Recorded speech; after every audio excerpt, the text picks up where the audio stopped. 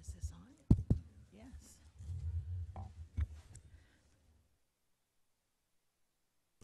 Okay. I now reconvene to the regular meeting of the Board of Education at 7:05 with Blair Cruz, Na, Orozco, and Fikes present. Before we begin, please silence all electronic devices and note that these proceedings are being recorded. Stephanie? The board met in closed session from 5:45 to 7:02 regarding conference with legal counsel existing and anticipated litigation, a student expulsion matter, conference with labor negotiators, ACT and CSEA, and public employee discipline dismissal release. No further action was taken that requires public disclosure. Thank you. I'd like to ask Kelly Larned to lead us in the Pledge of Allegiance tonight. And sorry for your last-minute notification.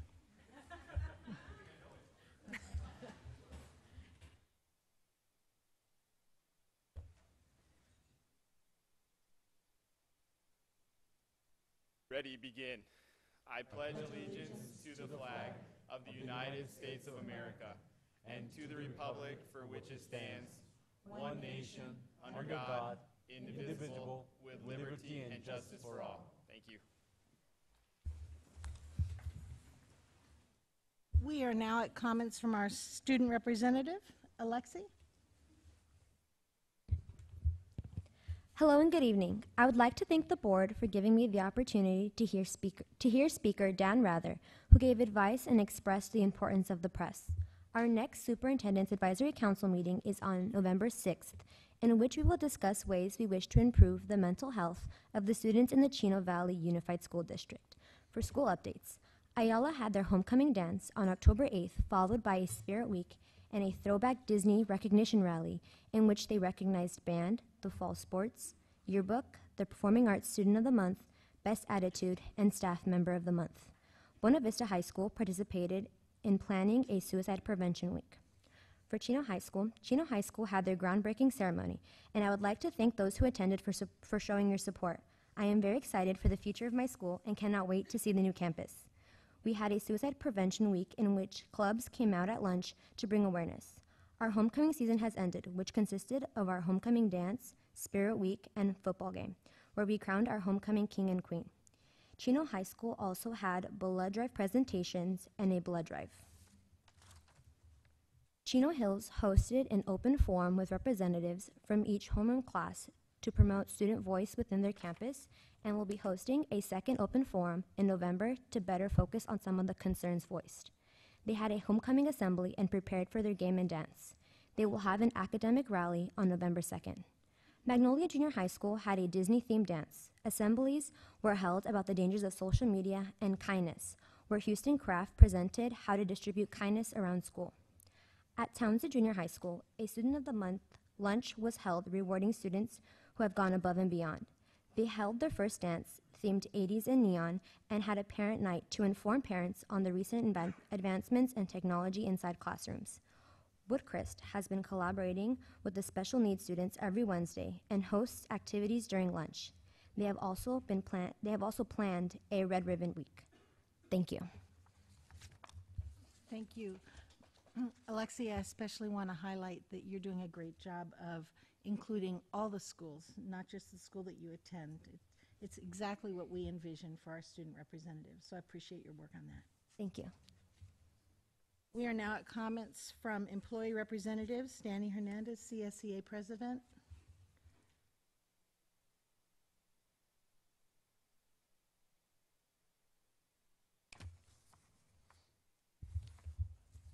Good evening, President Fikes, board members, Superintendent Enfield, Cabinet, and community. Um, just real short, I wanted to send a very special thank you to the district. Um, this year, or actually next year, we'll be sending, uh, with the district's approval, five members of our instructional aid group to the Paraeducator Conference, which is in Sacramento, March 6th through 8th of 2019. Um, a lot of our members thought because it was so far away, we normally have it here in Ontario. Um, but talking to Dr. Enfield, uh, the district agreed to send five, and I just wanted to, again to say thank you. Thank you. Yvette Farley, uh, Champ President. Not here this evening? She's here. Yeah. Nothing to say. Okay. And Kelly Larned, on behalf of ACT? Perfect. We are now at community liaisons. Presenters serving as community liaisons should limit their comments to matters relating to their community agencies. If you would like to comment on agent, agenda items or non-agenda items that are of general interest, we would appreciate it if you would complete a speaker card as all other community members do. Art Bennett? Paul Rodriguez? Mike Krieger, I see you in the back. Nothing tonight, thank you. Thank you. Um, anyone from uh, Supervisor Hagman's office? No? Okay, we are now at comments from the audience on items not on the agenda. Stephanie, are there any requests to speak on non-agenda items? Yes, there is one, Madam President. Speakers will be called, well, in the order the request was received. You'll be first. Please listen uh, for your name and approach the podium. Any comments on agenda items will be accepted during consideration of that item. Once the board has commenced deliber- deliberations on an issue, speaker cards will not be accepted. The board is very interested in your comments, but please bear in mind that the board typically does not respond to comments during this time on the agenda as it is reserved specifically for public comments. Individual members may respond during board comments at the end. Additionally, the board does its best to support the public's right to address its elected officials. It's also important that the board conduct its business in an orderly and fair fashion, as provided in Board Bylaw 9323. In the event that an unusual amount of speaker cards is submitted for any one item, the board will hear up to 30 minutes of comments. In the case of non-agenda items, the board can, if it chooses, hear the remainder of comments after all business has been conducted. Mrs. Blair, will you please explain the light system? Speakers, you have three minutes in which to make your comments. Please begin your comments at the green light. The yellow light indicates you have 30 seconds in which to complete your comments. The red light indicates your time is over. And before you begin your comments, please adjust the microphone as necessary so that you can be clearly heard. And audience members, please refrain from making comments while speakers are at the podium. Speakers, please remember that in accordance with Board Bylaw 9323 bylaws of the board, meeting conduct, limit remarks to three minutes total for all remarks, and please limit remarks to new points. The board would like to remind you that Board Policy 1312.1 contains the procedure for anyone who wishes to file a complaint against a district employee. Please follow that procedure. No speaker shall exceed the three-minute limit. Uh, The first speaker and the only speaker on non-agenda items, Mr. Brandon Blanchard.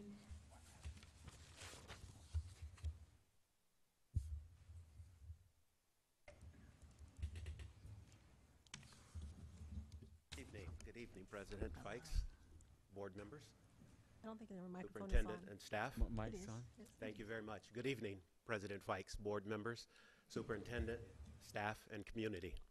Uh, It's November again.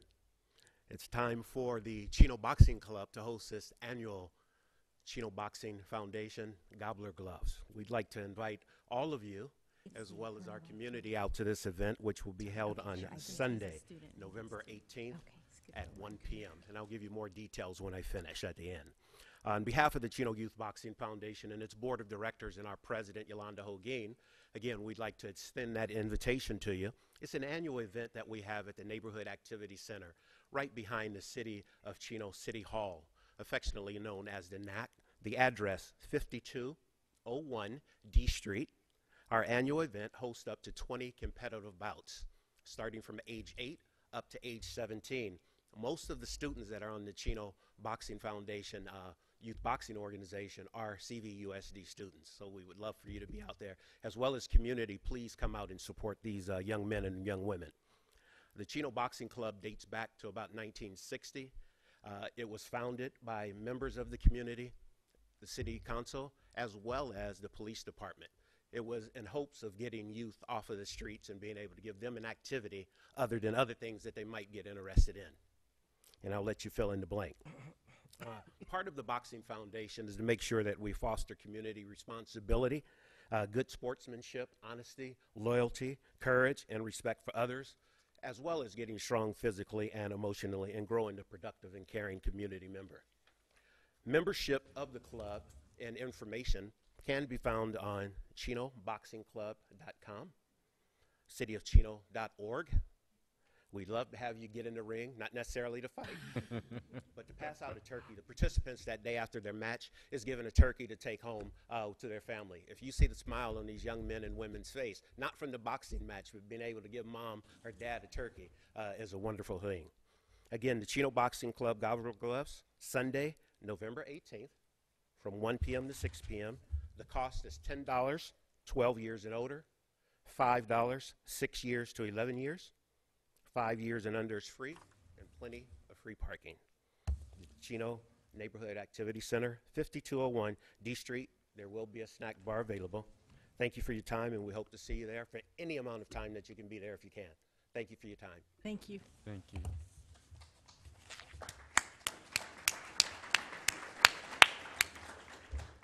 We are now at changes and dene- deletions. Stephanie, are there any changes or deletions? No, Madam President.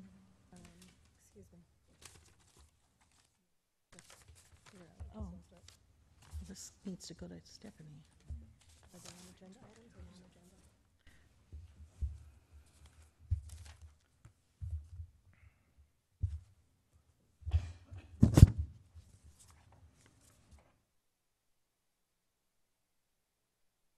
Are those non-agenda items, speakers? There was one just handed to me that was a non-agenda item on special education.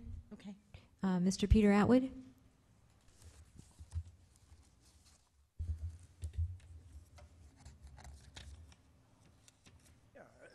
I just uh, came upon another um, kid um, who has not been assessed in about four years.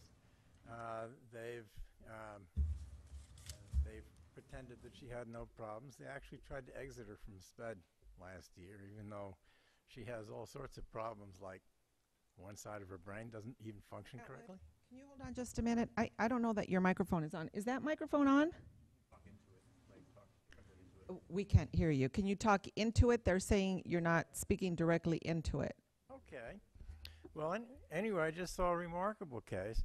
This kid actually um, has part of her brain just sort of doesn't isn't online. She still functions fairly well, and this is a kid that they tried to exit from SPED last spring.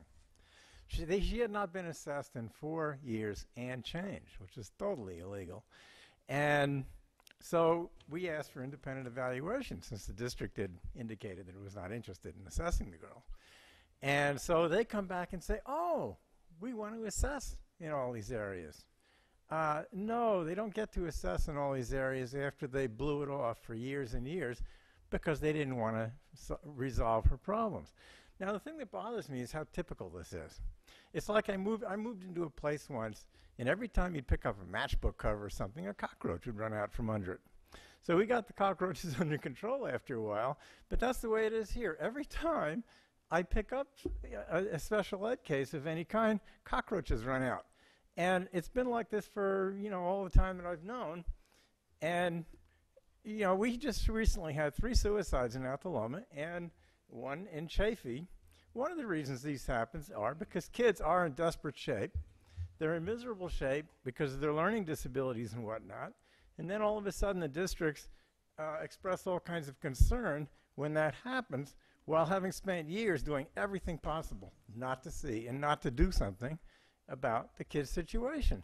Instead of thoughts and prayers and counseling after the fact, how about actually doing justice to these people? Because, you know, they are the weak among us, because they can't, can't speak for themselves very accurately. At least three of you here claim to be Christians, and it's pretty clear what you're supposed to do on behalf of the weak and, and the poor and those who can't speak for themselves. I'm, I'm again suggesting, not for the first time, why not actually pay some attention to that and do something about it? Make the special ed department actually do their job, which they don't want to do.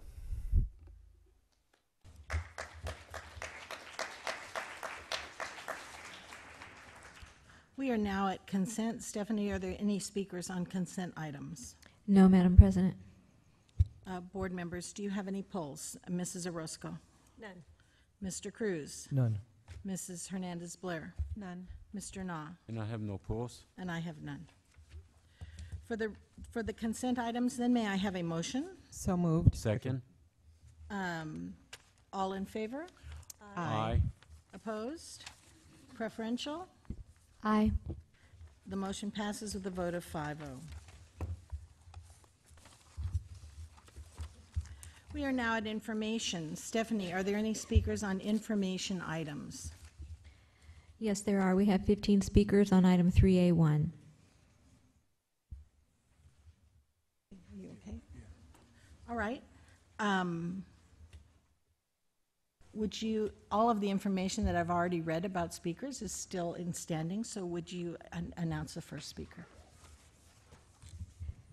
The first speaker is Peter, Peter O'Brien, followed by Naomi Minogue, followed by Kelly McClister.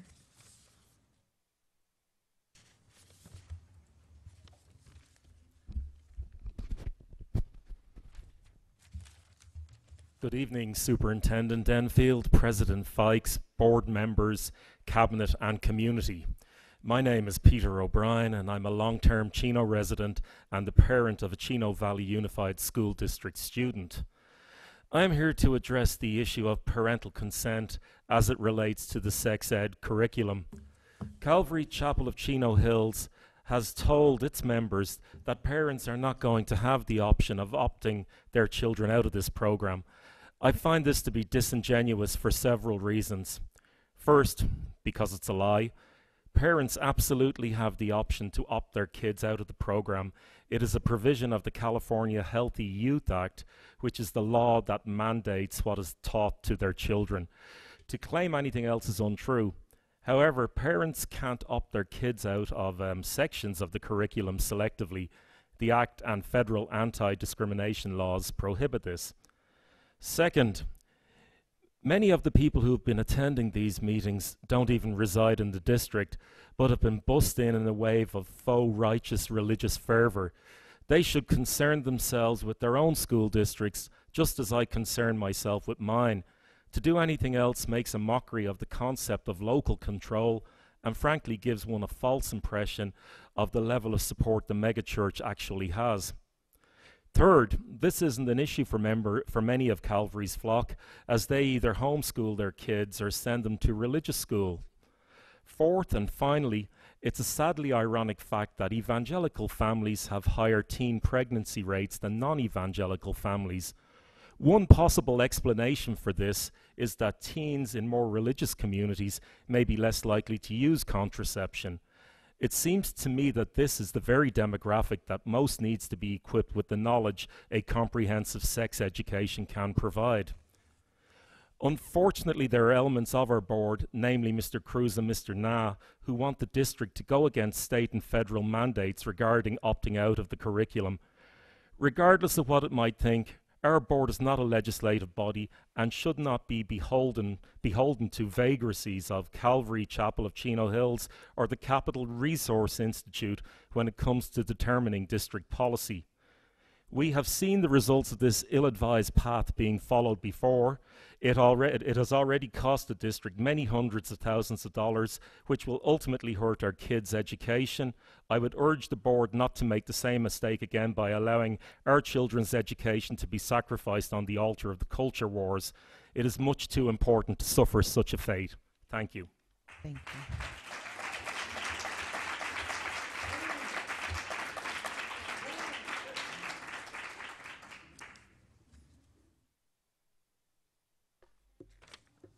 Naomi Minogue? Good evening. I am here to address the board and our community tonight with regards to the proposed model parent rights policy. Our policy is being challenged by a group who travels up and down the state, spreading misinformation and trying to accelerate fear in our community. The underlying reason for this is plain and simple. A group who wants to segregate our transgender student community. Instead of supporting, embracing, and celebrating their courage and bravery, the students are subjected to divisiveness and exclusion. The following is a letter written by a parent of a transgender student in one of our high schools. As the father of a transgender child, I understand and share your concerns. What you want for your child is what I want for my child, namely privacy. In order for you to get what you want, requires the privacy requires violating the privacy of my child and other children whose whole goal is to remain anonymous. No transgendered child wants to be known as transgendered. In order for you to know this information, these children and individuals would need to be outed against their wishes to do so. Consider that no child or adult who is transgender is required to identify themselves as such to their school principal, school district, or you board members. There is absolutely no legal right you have to know this information. There is no law that requires transgender people to identify themselves to school boards. Your proposition has no legal ground as far as identifying and exposing transgender persons. In order for you to get what you want requires the illegal identification of those who wish to be anonymous. This being the case, I propose a middle ground solution that solves this issue for both the parents of transgendered students and concerned parents. If you are concerned about your child sharing a bathroom or locker with a transgender child, simply have them use the nurse's bathroom or have the school make available a single stall, single use, gender free bathroom such as what you have at home. This solves your concern and my concern about your child's privacy while preserving the anonymity of those who have no legal obligation to identify themselves to you or anyone and guarantees that your child is free from any situations you deem uncomfortable. You know, our district is better than this. Our district should be welcoming to all of our students and our teachers don't segregate their classrooms. They don't segregate their their students that walk into their doors. They teach and accept everyone, and I'm so proud of the teachers. They're doing their job, which is to educate all the students in our district. Our policy should be to support their actions and to, to support the bravery and the courage of our students and to support their families. Thank you. Kelly McClister, followed by Kristen Hurst, followed by Lisa Perlman Greathouse.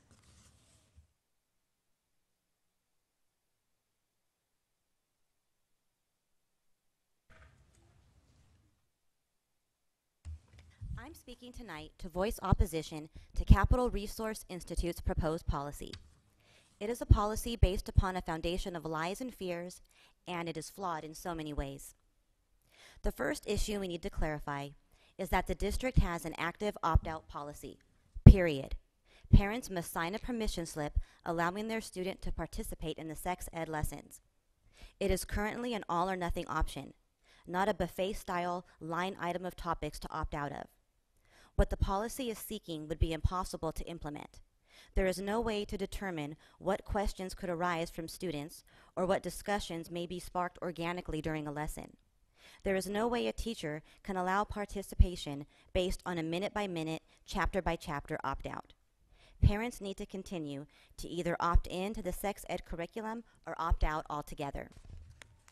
Secondly, there is no way to legally or even practically know if a transgendered person or a person with a particular sexual orientation is using a public restroom. Therefore, if a parent does not want to have their child being in a restroom with such an individual, they may request their student only use the office bathroom or the nurse's office bathroom at school. That way, no privacy laws are being broken. This is being called a parental rights policy, but really it's a replacement for parental responsibility. Each parent needs to view the sex ed curriculum on their own and make the informed decision to totally opt in or opt out of the curriculum. Each parent needs to make arrangements to accommodate their beliefs for their student, not violate the privacy rights of others. Lastly, I want to voice my utter disgust at Mr. Na and Mr. Cruz for sitting silently at the October 29th Capitol Resource Institute meeting and allowing Miss England to call the CVUSD teachers liars over and over again.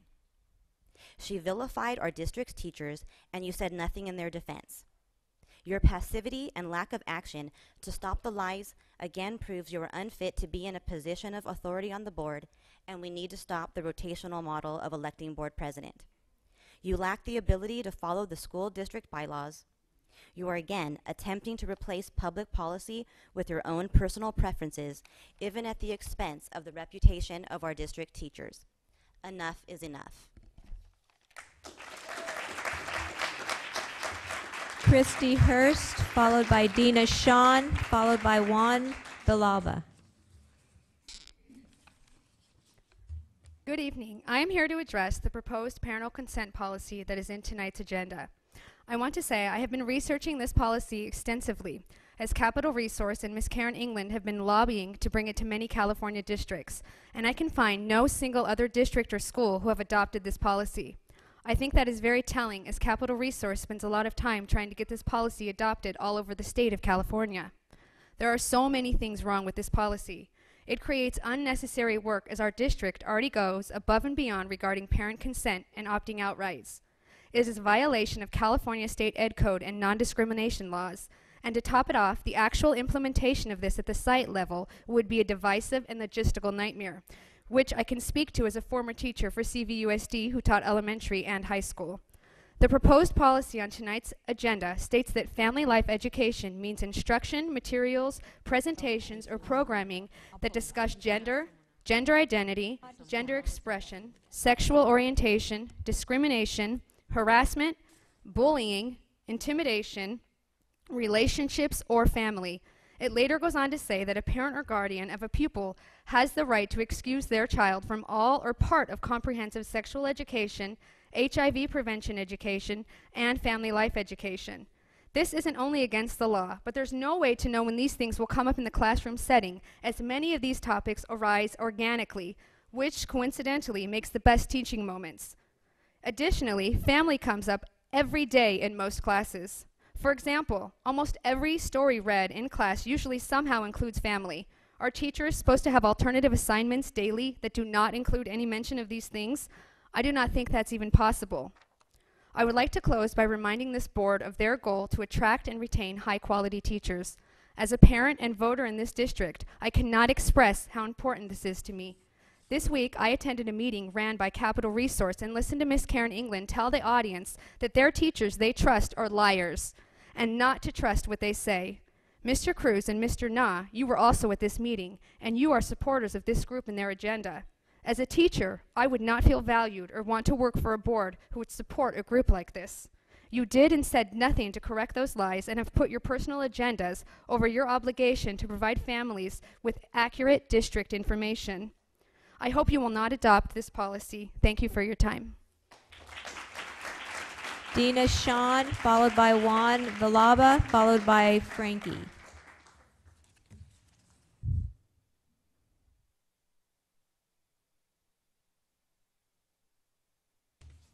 Hello, my name is Dina Marie Sean.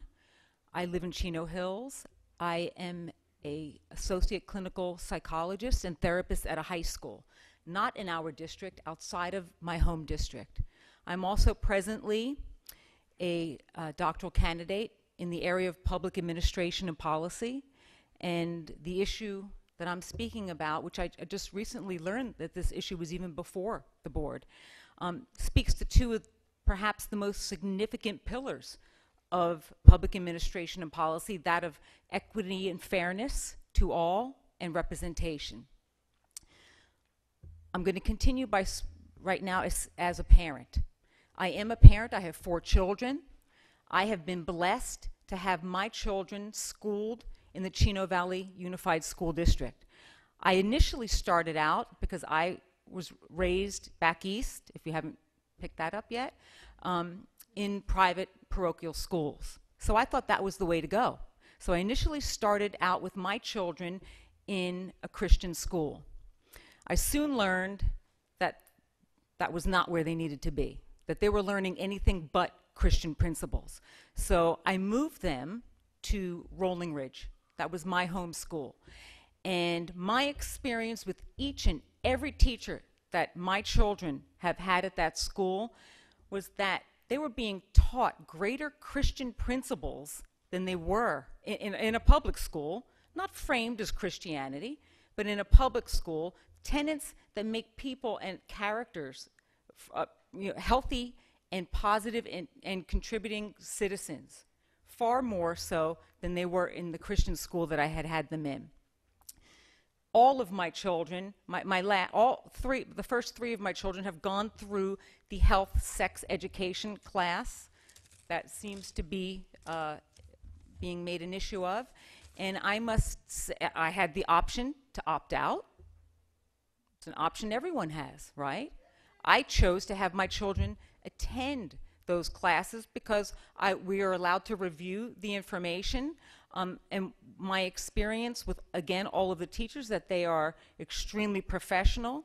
And the material, if anyone has suggested, um, has anything inappropriate, um, that would be disingenuous at best.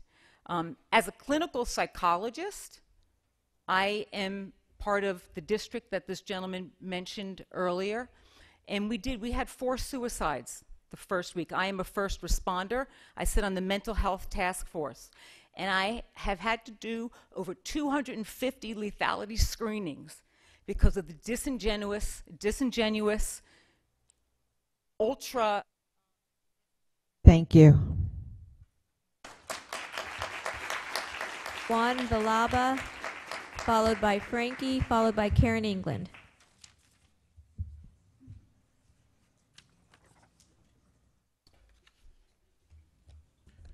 Hello, good evening, board members, community. My thoughts, uh, this model policy that Capitol Resource is pushing does not seem to be consistent um, with the new health education law. As I read the proposal, it appears to be asking that we do not follow the education code in some instances to explicitly disregard law, active versus passive consent. The board passed a resolution recently declaring that the resolutions that they pass must be lawful. And I would encourage the board members to remember that as well.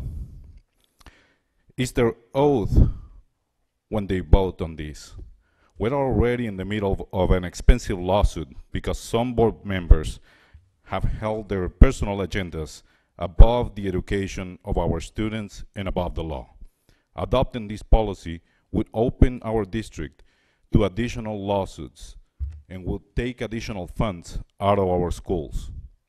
If the Capitol Resource Agency is concerned about parental rights, they should take their concerns through the proper channels and do not ask Chino Valley to act without regard to new but existing law. I, all I'm asking is board members act as such, as you are board members. You are elected officials on administrative position. It's not politics involved in this. There's no religion involved in this. It's education of our children.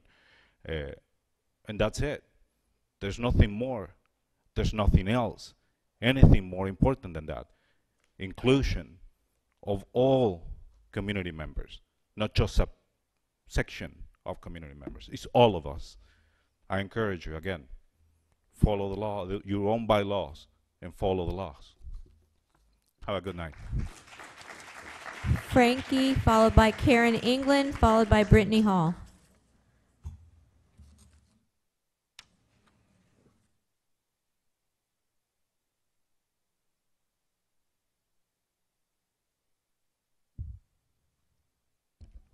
Good evening, board and superintendent. My name is Frankie and I am a seventh grader. Last time I was here, I spoke about what I learned in family life. I am here again to talk about what I did and did not learn, since some are spreading lies about what is taught in family life. I learned how, about how my body will is changing, like I will go through a growth spurt and my voice will change. I learned about what to expect, like how hair will grow on my armpits and how important deodorant is. I learned the only thing I learned that the only guaranteed way not to get a girl pregnant is an STD or not to have sex, period. I did not learn about sex positions like anal sex that Andrew Cruz talked about at previous board meeting. That was actually the first time I heard the word anal sex.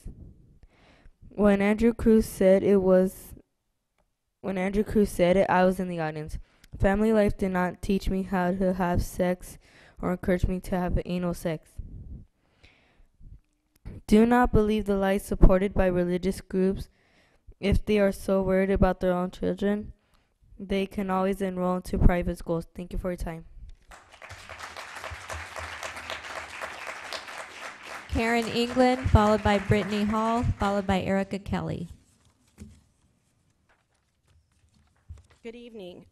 I'm Karen England, um, and I'm not sure who's lying, but I know someone has been lying because when we have requested the information from the school district, we've been given incorrect information, including information that Ms. Orozco has been handing out as she's been canvassing about um, different policies, and I'll, I'll go into that a little further. So, as I said at the meeting, and I will say publicly, I don't know who's lying or why they're lying, but I know the curriculum we were given. I know the information we were given about your policies, your opt in form doesn't go with what I requested with the Open Records Act and what I was given by the district as to what's really going on here in the school district.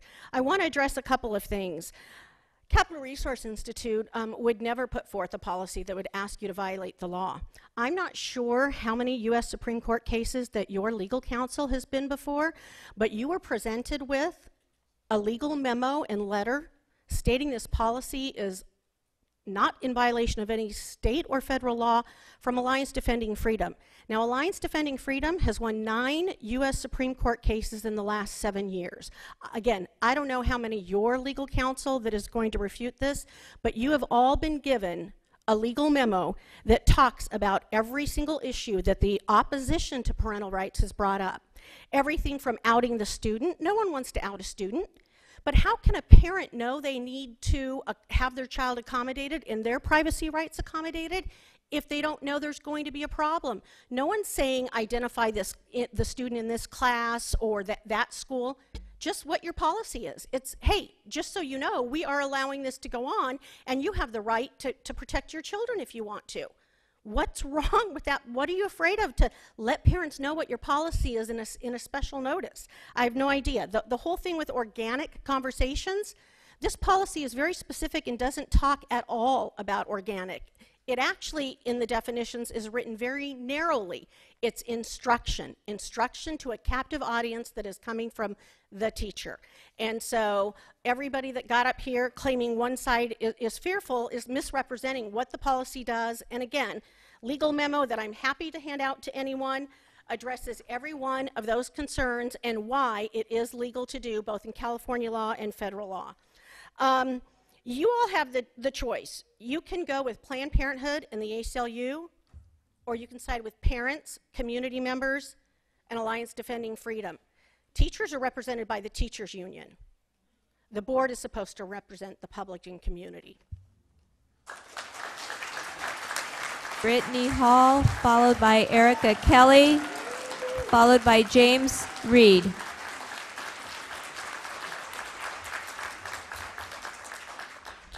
Good evening, everybody. My name is Brittany Hall. I was born and raised in Chino. I'm a proud graduate of the Chino Valley Unified School District. We live in a time where compromise has become eroded and polarized emotional outrage has become the status quo. I normally let my vote be my voice, but I speak up when rationality and common sense is needed. And this is why I'm here tonight. Tonight, I have an obligation to speak on, on my beliefs and to what is happening in our school district. Currently, our school board is broken. We have incompetent individuals who have turned our school district into a circus and a public spectacle. There are members who are not fit for a position of power, let alone to serve as a rotating president on the board. They have shown us all that they can't separate their fiduciary duty from their personal views. If you can't look out for the interest of all the students and families in the district, you, have, you are absolutely unfit to be even sitting up there on that board. In regards to the current parental rights proposal, it is discriminatory in nature. It will impose an undue burden on the school district and is an attempt to regulate general speech. This is not only authoritarian in nature, it, it would infringe on the First Amendment and one's freedom of free speech. If passed, this policy would be illegal as it goes against current board policy to follow state law. This will absolutely bring yet another lawsuit costing hundreds of thousands of dollars to be stolen away from our children's educational fund. Our own attorneys advised against the adoption of this policy. The troops may have been rallied on both sides tonight, but I speak for those who are not here today. I speak for those who do not support the re- direction this board has taken. I speak on behalf of the larger community of Chino Valley Unified School District who are sick of this nonsense. We do not want members who will bring lawsuits. We do not want our hard earned tax dollars to be misused. and we do not want money being taken away from our children's education.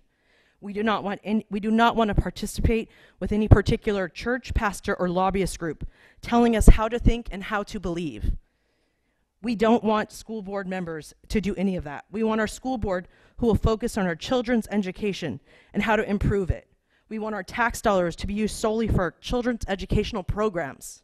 We want board members who have not lost their moral compass.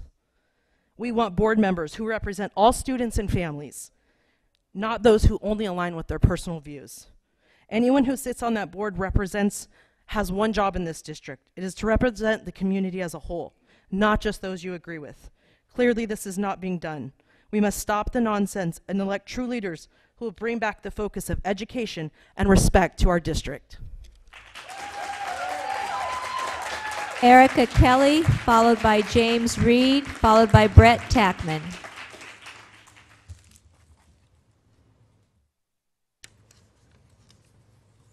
Hello. Hello.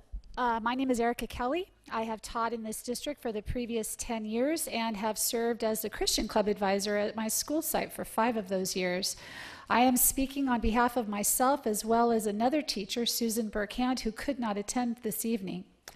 I am here both as a teacher and a concerned citizen to urge you to do your job as school board members and let the school district follow the California State Education Code regarding the teaching of sex education and upholding protections for transgender students.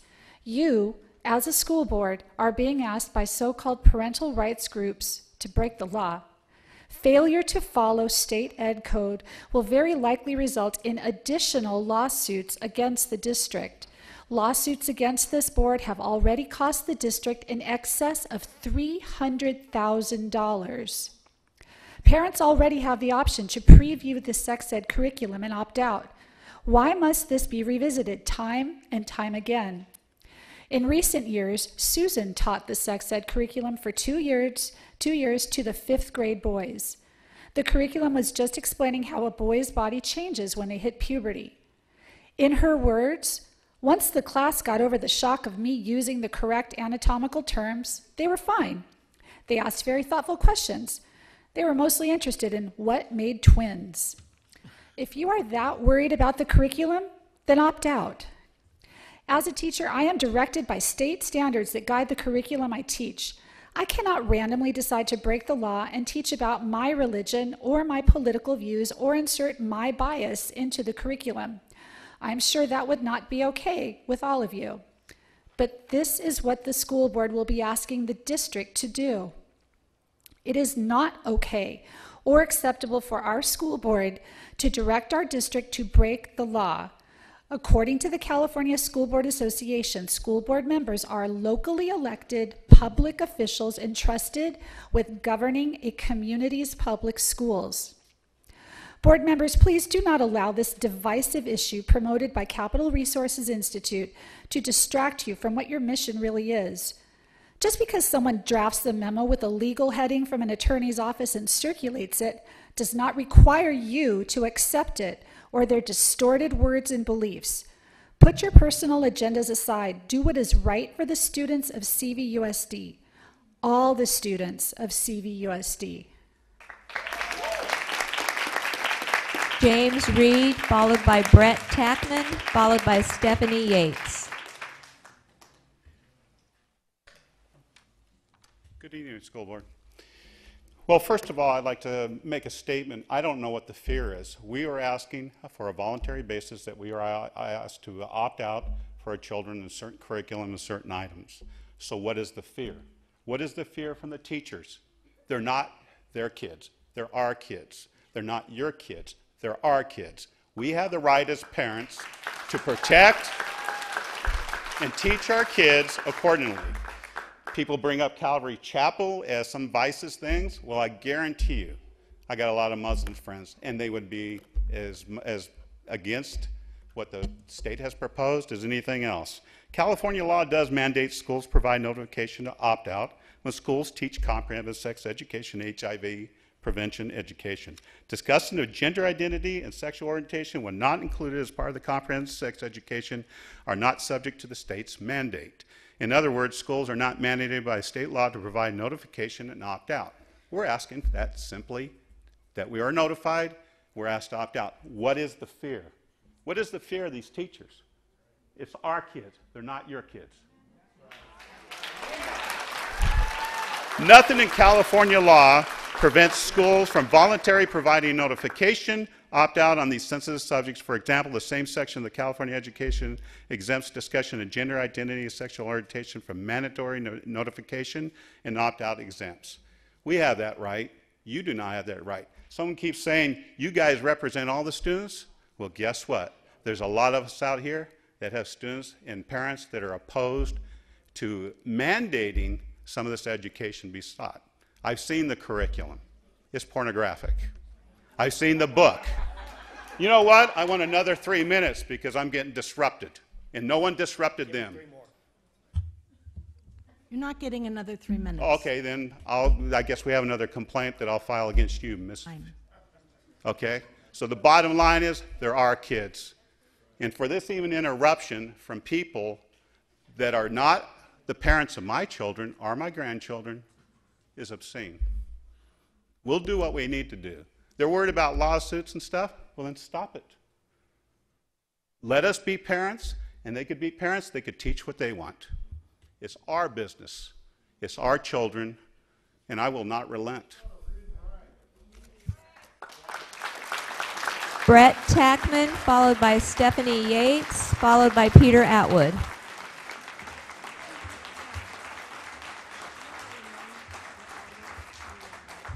I would like to remind all audience members not to interrupt.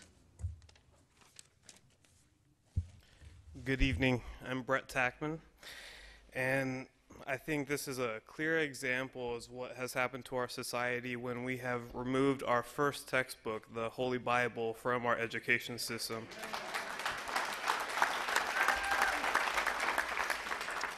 Sex education should have no place in the American school system. These are topics that should be reserved for parents and parents alone. And I believe that the left has pushed back, or left has pushed us too far, and has woken the American, the silent majority. And we will remember who votes in favor of this bill and who doesn't, and we will vote you out accordingly. Thank you. Stephanie Yates, followed by Peter Atwood, followed by Loretta Creelman.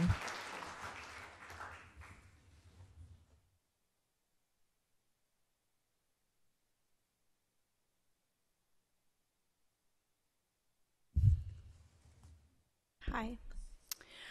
Um, so I was here last time, and I do support the parental right um, policy. And I know for a fact that a lot of parents don't know what's going on in the school, what's being taught, because they're not being told, giving full disclosure. And last time, Mrs. Blair said that you're not teaching normal sex, right? Page 53 out of Positive Prevention Plus, it says sexual contact mouth to penis, vagina, mouth, penis, vagina, anus, penis. That's anal sex. It also talks about masturbation on page 34. Now, these are our children, they're not your children. And they might be some of their children, but we're not going around telling them what they can teach their children. We're not imposing our morals, our values, and our beliefs on them. And we don't want that to be done to our kids. So um, I'm not sure what all is in the curriculum because from my what I'm hearing is that you're not really being fully transparent about it. So I'm just going to play a little bit from this video that's part of Positive Prevention Plus. And I'm wondering if this, if parents know about this and if they're okay with it. Welcome to the Positive Prevention Plus Sexual Health Education Independent Study Program. Whew, wowza. that was a mouthful. but hey, you're really gonna enjoy this stuff.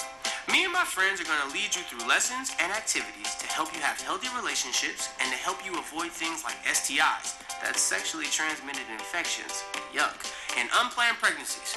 But before we get started, let me introduce you to my friends here. And even though I'm a senior, I don't know everything, so they're gonna help out too. And there's some really awesome dudes and dudettes, so let's check it out. I'm Dulce, and I just got my driver's license. Yippee! I grew up in Southern California, but I have a lot of family in Mexico. Sometimes I like speaking Spanish with my grandmother, mi abuelita. I'm not dating anyone right now, and I'm open to going out with guys and girls. Why limit your options to just one gender? Hi, hi. I'm Sarah. I just started high school. It goes on. Why limit your options? Is that what we're teaching our children? Why limit their options to one gender? I thought it's about sexual health, not promoting promiscuity.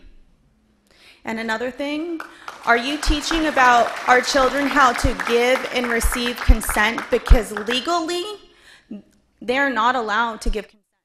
Thank you. Peter Atwood, followed by Loretta Creelman, followed by Eric Castellanos. Well, good evening again.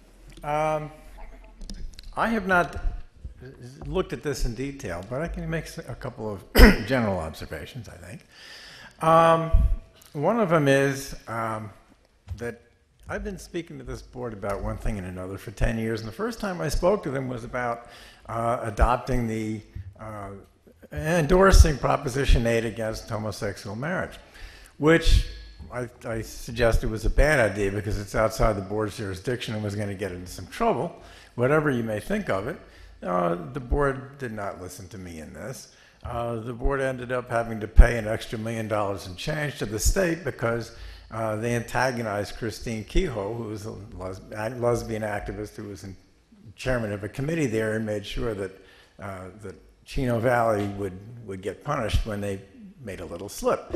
So one way or another, these things happen. And then there's the whole thing, which is now uh, on its way to the Supreme Court, unless the Supreme Court denies cert, which they probably will, uh, which is several hundred thousand dollars, and one thing after another. And the question is, why do y'all keep getting into this trouble?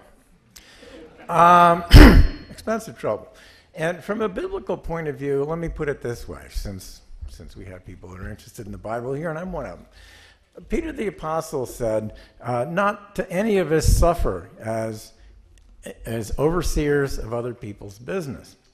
Now, as Christians, we don't have any business overseeing the business of this world.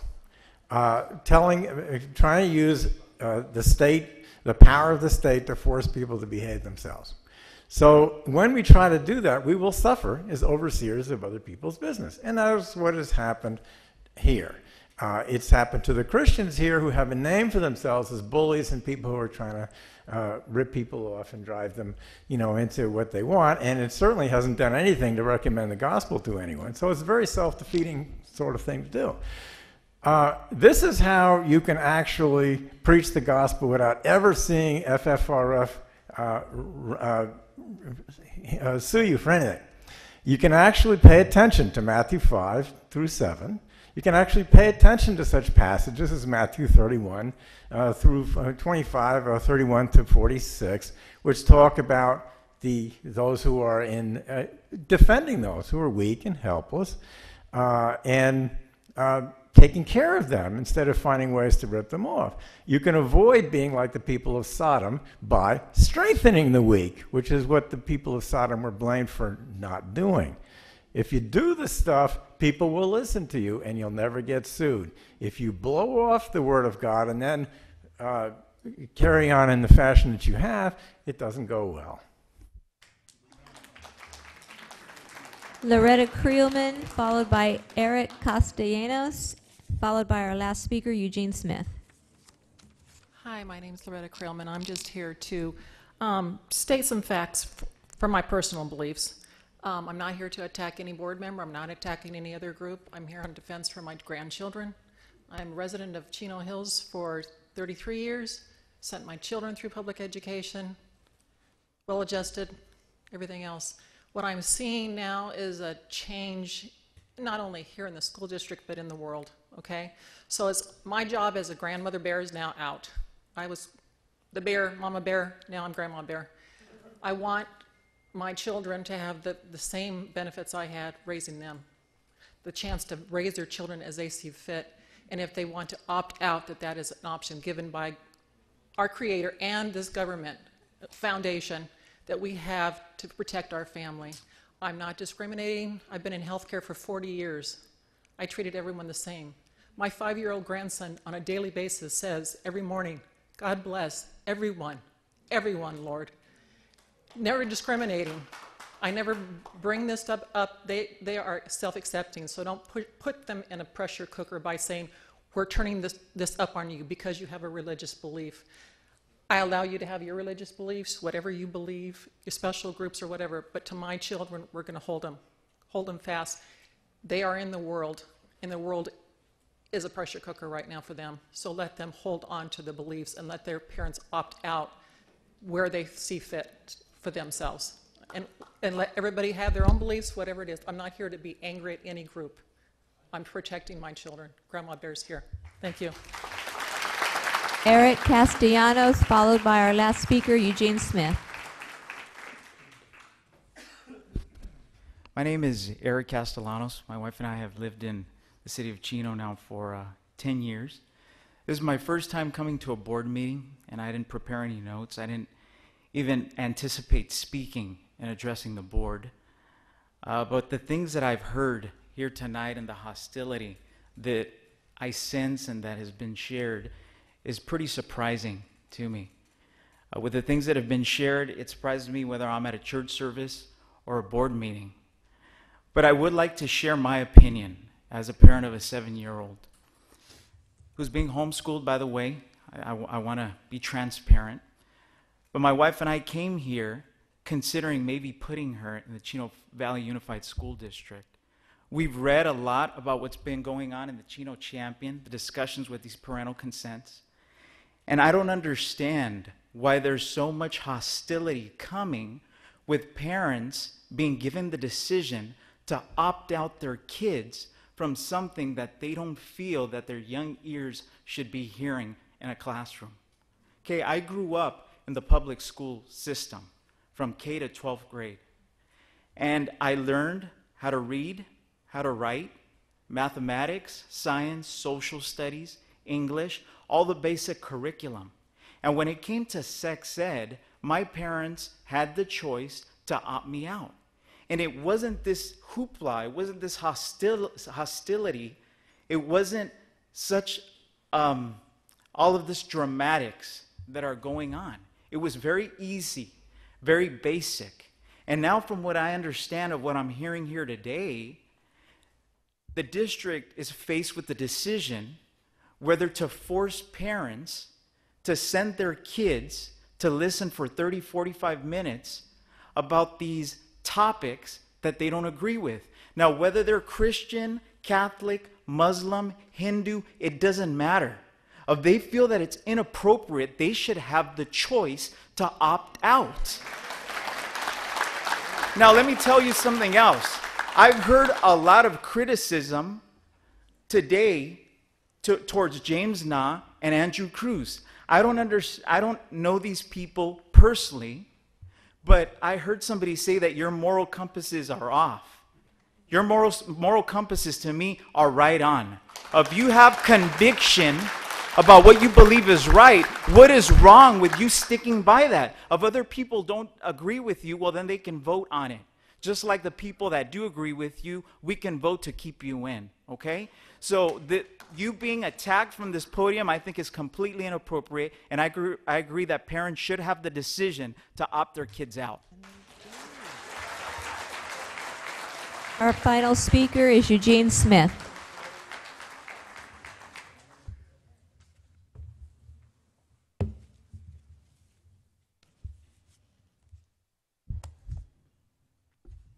So this is what happens when you show up for a, to a school board meeting. Um, I, am a teacher with the district. I've been here since 2002, but I've been teaching for 28 years. I've taught grades three through eight. And like the previous speaker, I'm, I'm absolutely shocked at the divisiveness that's going on. It's, it's stunning. And it's kind of like a microcosm of what's going on in our country. Now, I've taught family law, okay? And you're not going to find many teachers out there that volunteer to teach it. But we understand it's a responsibility. Now, and I will tell you that giving people the option to opt out of something, sex education is simply common sense. It is. Some people may disagree with it. It's a very uncomfortable subject for many people. I understand that. But students need to know. They need to understand what this is and what it means. I would tell you from my experience that when I gave sessions on family law and we would go over the information, they were absolutely focused when we had a discussion. And they would send up all kinds of cards on, on all different kinds of information. But they wanted to know because they weren't getting it elsewhere, or else they're getting it from their friends, and that's the worst place to get it from, right? So I urge you to really think about this because unfortunately, a lot of these students are not learning where they should. We give them the option to learn in school, and I urge parents, if, because I've heard a lot of information or a lot of comment about they're not understanding what's going on or what's being taught, come and talk to us. We are an open book. We always have been. We always have the uh, situation of presenting parents with the information first before we teach it. So I'm confused about the fact that there's some conversation about you not understanding what's being taught. It's an open book. And that goes for everything in the curriculum, not just sex, sex education. Thank you very much.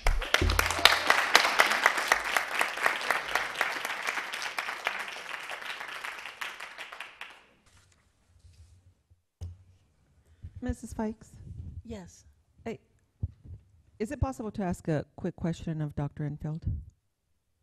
Certainly. Re- relating to this topic, the Certainly. information topic. We have an opt-out form, period. I, no discussion about that. You can opt out. There's no argument. We're okay with that. I'm a parent. I have a student in this district. If I wanted to, I would opt him out. So that's not a concern. We discussed it at a prior board meeting.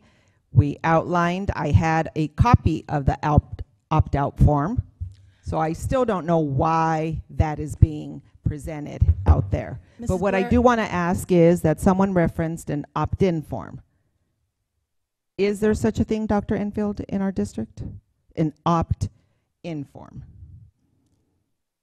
There's, there's a form that goes home to parents, and it asks, do you want your child to participate in the sex ed program or Or not? out.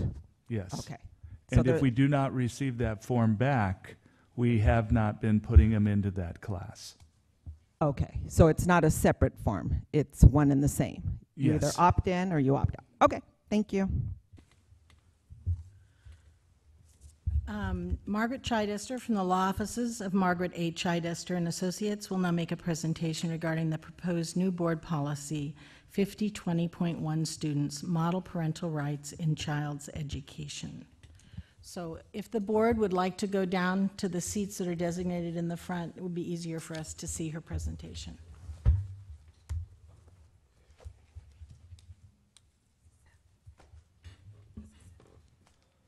Yes. And we all have a handout on that. Mr. Na, do you want to take your handout, or I can bring it to you?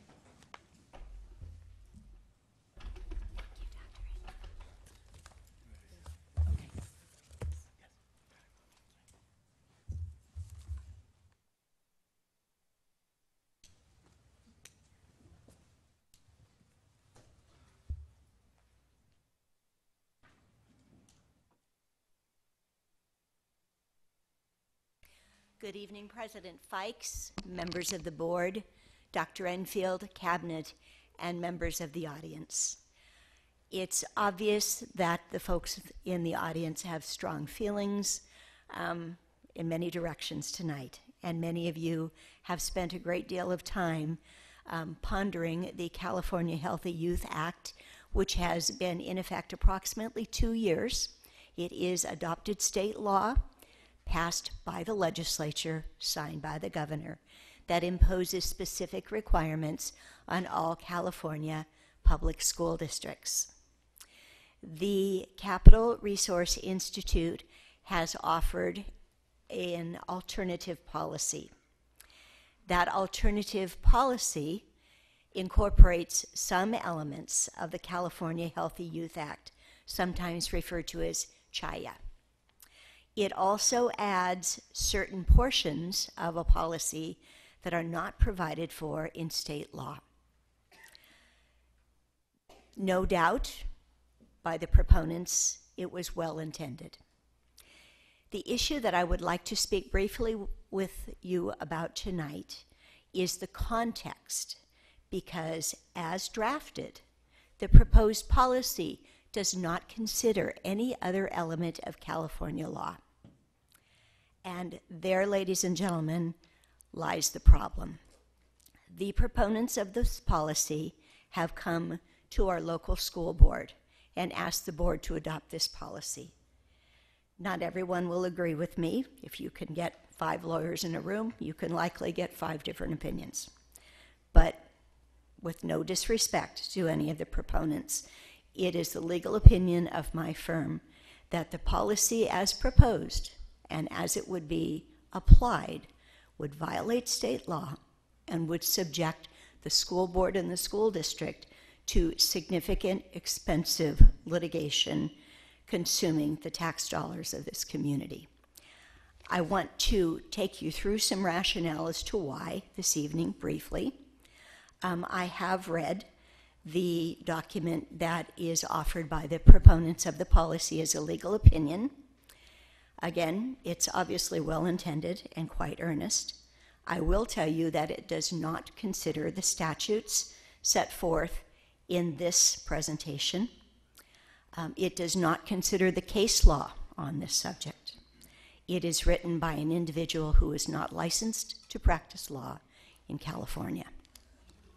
Without further ado,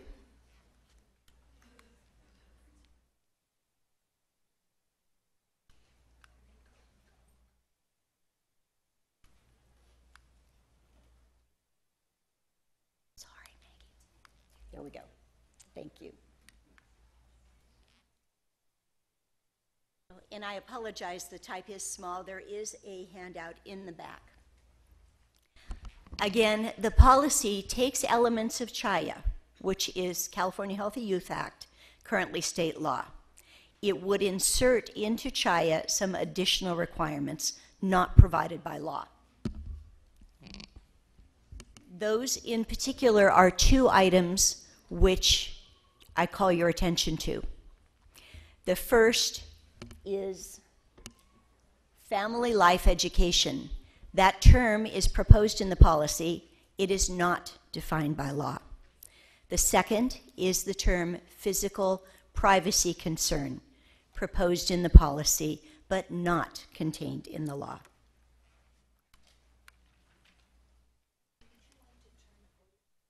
Certainly. Thank you very much. I think we need to face, You the- need to see them face still? the board. And I apologize to those of you that I've turned my back to.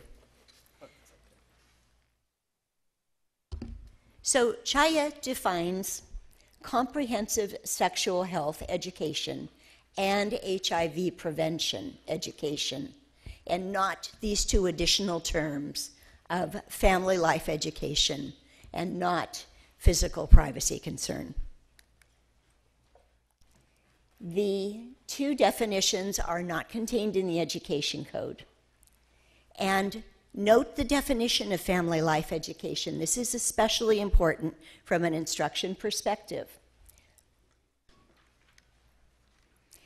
We believe that this definition would violate state law in that it goes far beyond the so called opt out subjects allowed in CHIA. Family life means instruction materials, presentations, or programming that discuss gender, gender identity, gender expression, sexual orientation, discrimination, harassment, bullying, intimidation, relationships, or family. That very broad definition is one of the essential problems with the policy as proposed. For example, a sociology class may well define or may well discuss um, issues of gender. Certainly not body parts and their functions, but social relationships. A history class may well discuss the contributions of transgendered Americans or LGBT Americans. And many of you know that it is state law that contributions of Americans of many groups, not simply LGBT or transgender, now must be recognized by the schools and taught by the schools, including contributions of many cultural and racial groups. So that's a requirement of state law. The policy, as applied, would prevent that. Um, that's family life education. The policy, as applied, would literally allow, should a, parent choose, to opt a student out of a history class, out of a sociology class, out of a psychology class. And I was reading an opinion written by another lawyer on the subject that observed literally an English class teaching Romeo and Juliet is about relationships, it's about family. A parent could choose to opt out of that if this were the policy of the Chino Valley Unified School District.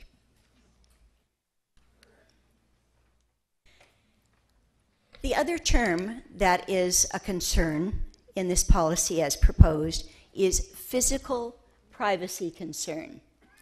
It's very broad. It means any circumstances where a child may be in a state of undress in the same room as someone of the opposite biological sex while on school premises, or if not on school premises, while under the supervision of school personnel. The term includes, but is not limited to the presence of any person on school premises who asserts a gender identity different from the person's biological sex and who is permitted by policy, practice, or law to access restrooms, locker rooms, showers, and overnight accommodations consistent with the person's gender identity. Um, most of you are aware that it has been state law for a number of years that regardless of gender identity, students must be allowed to access the restrooms, the locker rooms, which with they identify, not necessarily that of their biological sex. So that has been state law, and that predated CHAYA.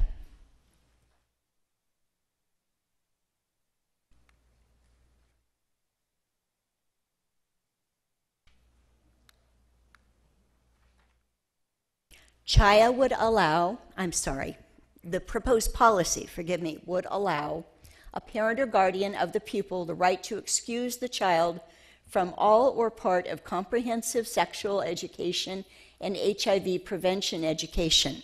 That part is consistent with CHAYA. However, the proposed policy continues, and family life education through a passive consent opt out.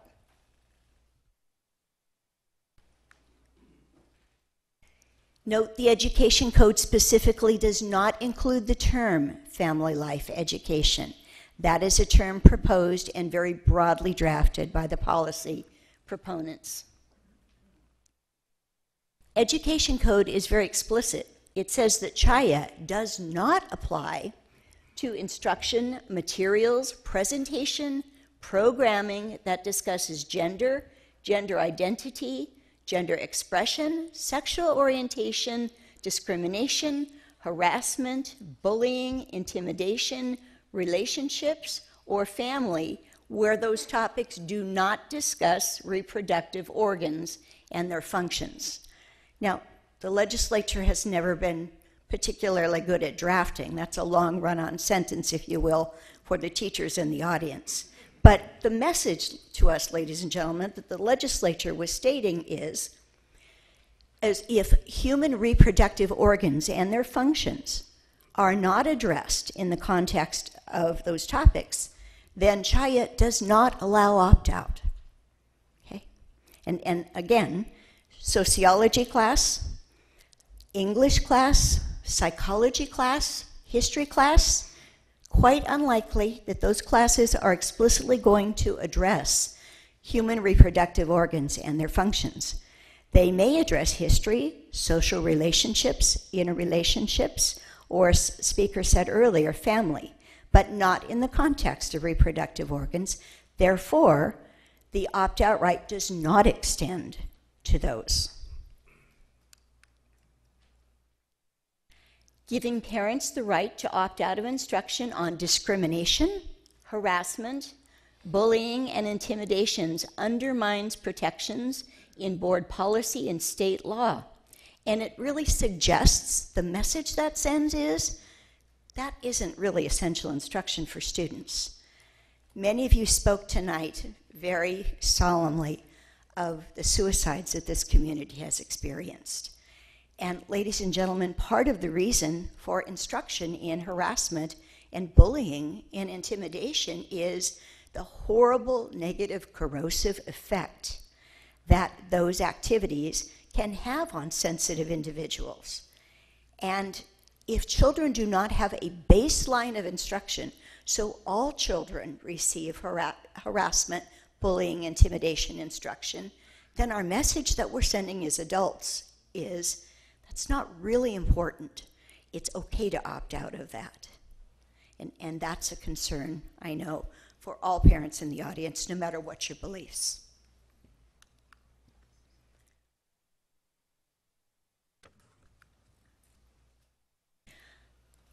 Some state law for your consideration.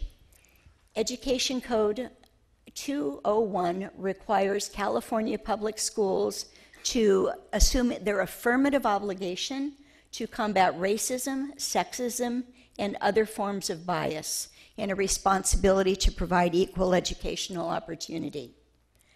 And the code also requires districts to affirmatively adopt policies that prohibit discrimination, harassment, intimidation, and bullying on the basis of gender, gender expression, or sexual orientation. So, again, we're required to adopt these policies, but if students are allowed to opt out of instruction about that, the message to the children is it's not really important critical instruction.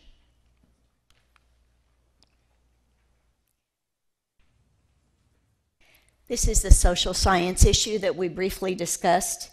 Instruction in social science shall include, uh, shall means the school district does not have an option, it must provide, shall include a study of the role and contributions of lesbian, gay, bisexual, and transgender Americans to the economic, political, and social development of California and the United States of America, with particular emphasis on portraying the role of these groups in contemporary society. So that's mandatory instruction. It cannot be opted out of again because this instruction does not address human reproductive organs and their functions. That's Chaya.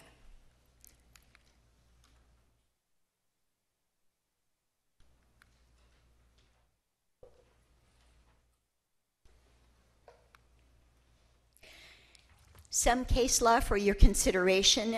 Several years ago, there was a school district that put on a presentation to teach what was then referred to, it was pre Chaya, as sex education. And an outside group came in and made this presentation and had a name, quite obviously, to call attention to that group. And this was the name of the group um, Hot, Sexy, and Safer Productions. And so, as you might expect, um, that presentation uh, given by a school district with that outside organization was litigated by objecting families. And in that case, the court said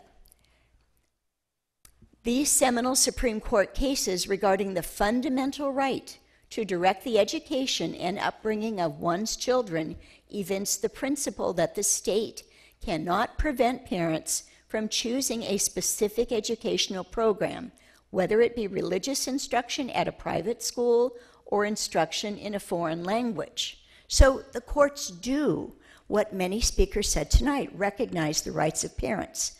But here, importantly, the federal courts have said there are limits. And, and the limit here is they do not, however, give parents a fundamental right to control a public school district's curriculum simply because they have chosen to send their children to public school. So, in other words, under Chaya, yes, parents can absolutely opt out for their child of comprehensive sexual health education and HIV prevention education. But beyond that, the courts have said, and the state law says, parents may not pick and choose which pieces of other instruction they would like to opt their child out of. Um, the Ninth Circuit Court of Appeals heard this case when it went up on appeal from the trial court. And again, it recognized many of the Supreme Court cases that some of you are familiar with. And the Ninth Circuit said Meyer, Pierce, and their progeny evince the principle that the state cannot prevent parents from choosing a specific educational program. But here's the important part.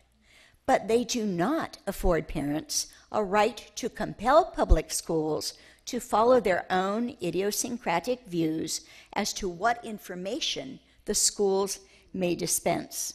Parents have a right to inform their children when and as they wish on the subject of sex. They have no constitutional right, however, to prevent a public school from providing its students with whatever information it wishes to provide, sexual or otherwise, when and as the school determines that it is appropriate to do so.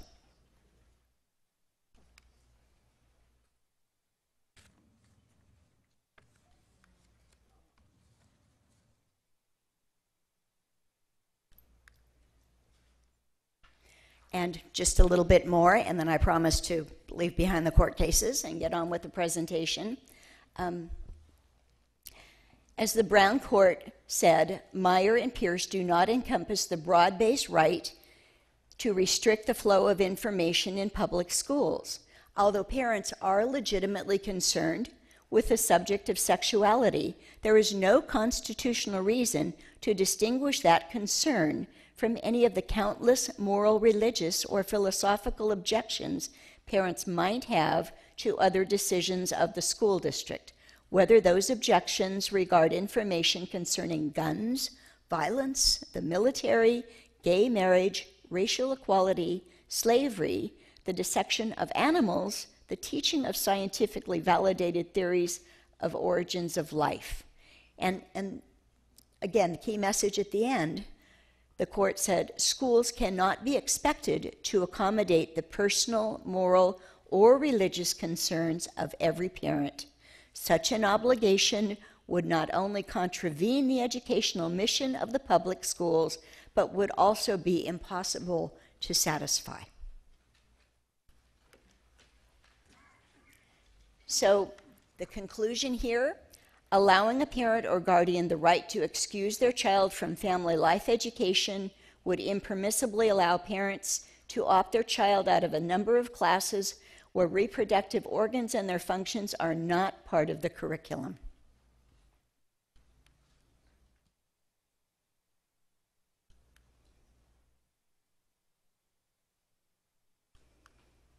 I apologize. So, the model policy then goes on to offer some notice provisions.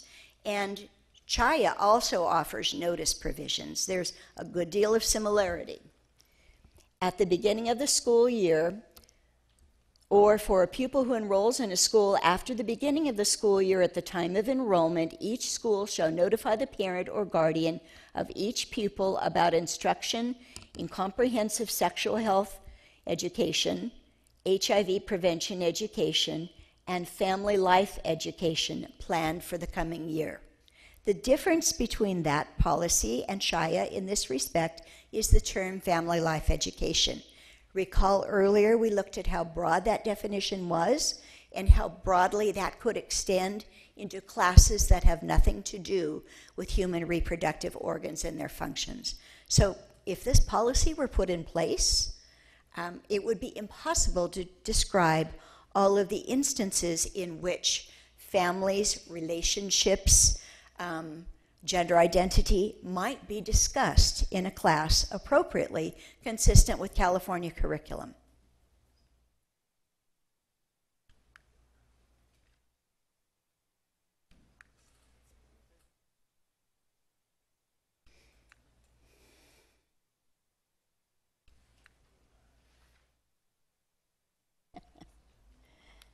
There we go. Point it that way. It's wonderful to have an expert in the audience. Thank you, Maggie.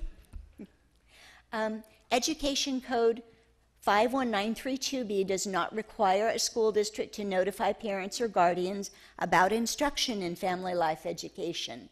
Um, specifically, it does not require that parents be notified that there may be discussions about gender identity, sexual orientation, discrimination, harassment, bullying, intimidation, relationships, or family when that instruction does not encompass human reproductive organs and their functions.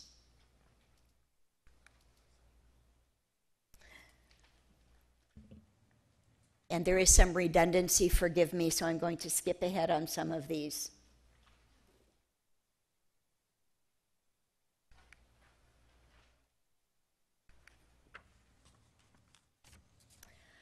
The proposed policy would include information explaining the parent's or guardian's right to request a copy of this policy. And there's nothing wrong with giving parents a right to have a copy of board policy. In fact, most of you in this room know that the school board has placed its policies and administrative regulations online on its website, so they are all accessible to you. But please note that the education code says that the parent or guardian notification will include information explaining the parent's or guardian's right to request a copy of this chapter, meaning the chapter in the education code, the actual law. So, in that case, the education code is stronger, if you will, than the proposed policy.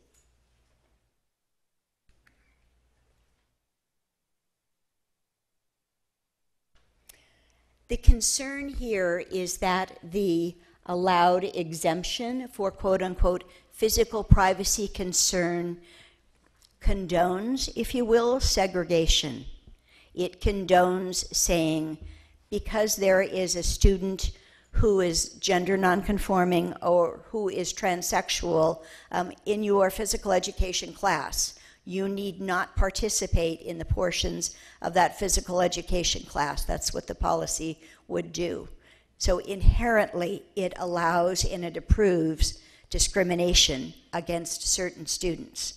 We would not allow discrimination against his students of any particular racial background or religious background, but this policy would condone discrimination against transgender or gender nonconforming students. That would place the district in a position subject to litigation and potential liability.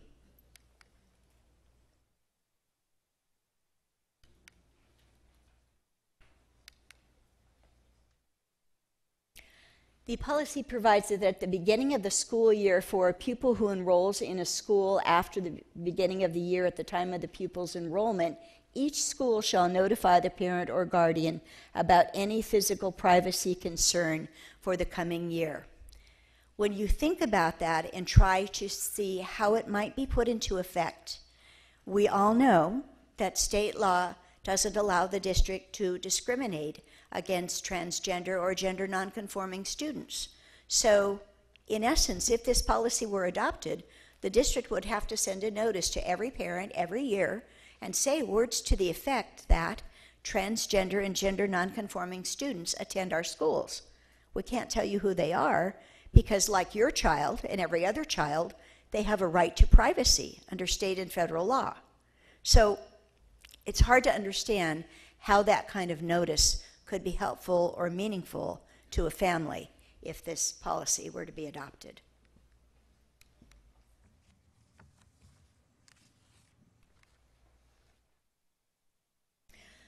And this is the education code section that is important for all of us to be aware of. Um, it has been quite controversial. It, however, is state law and it is reflective of how federal law has consistently been interpreted by the Office for Civil Rights. And that is at the beginning of each school year, I apologize, um, every student may use facilities consistent with their gender identity. And here, all schools would be required to give that notice every year because they must accommodate students' gender identity. The right to privacy of all children is covered by both state and federal law. And as was mentioned earlier in the comments by many speakers, students have a right of privacy and they cannot be compelled to disclose their gender identity or gender orientation. Um, requiring a student to do so involuntarily would violate their right to privacy. The district's present regulation recognizes the right to privacy, and that is a student's transgender or gender nonconforming status is his or her private information, and the district shall only disclose the information to others with the student's prior written consent, except when the disclosure is otherwise required by law or when the district has compelling evidence that the disclosure is necessary to pr- preserve the student's physical or mental well being. In any case, the district shall only allow disclosure of a student's personally identifiable information to employees with a legitimate educational interest. So, again, that right is already protected in district policy.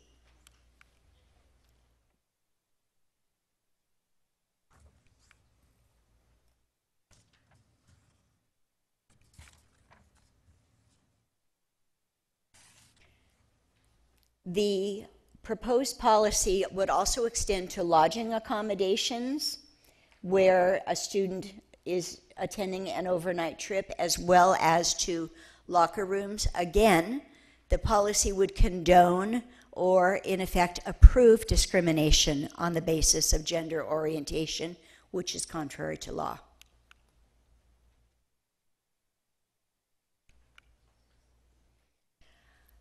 The district's present administrative regulation already recognizes the right of students to have alternative accommodations, accessibility to sex segregated facilities, programs, and activities when the district maintains sex segregated facilities such as restrooms and locker rooms, or offers sex segregated programs and activities such as physical education classes, intramural sports, and scholastic athletic programs, students shall be permitted to access facilities and participate in programs and activities consistent with their gender identity.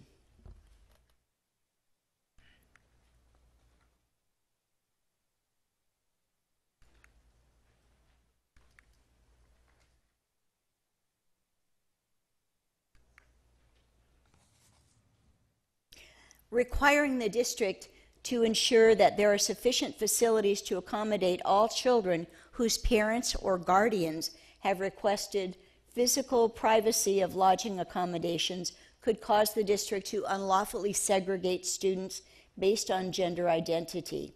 Students must be permitted to use the facility consistent with their gender identity.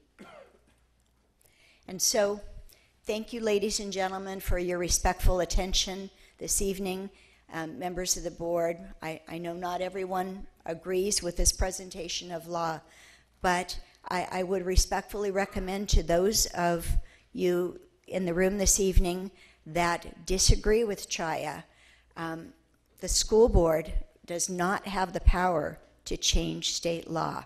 Uh, the California legislature is the body that has the power to do that, and so concerns um, that have been raised this evening that are not consistent with CHYA should be um, addressed to the legislator. And again, I thank you all for your attention.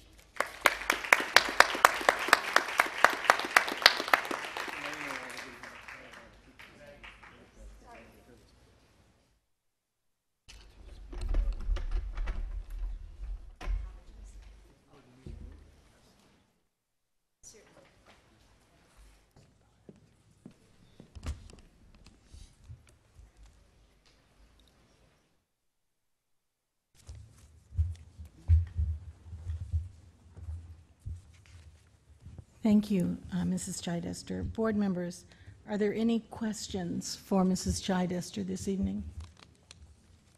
Mrs. Blair?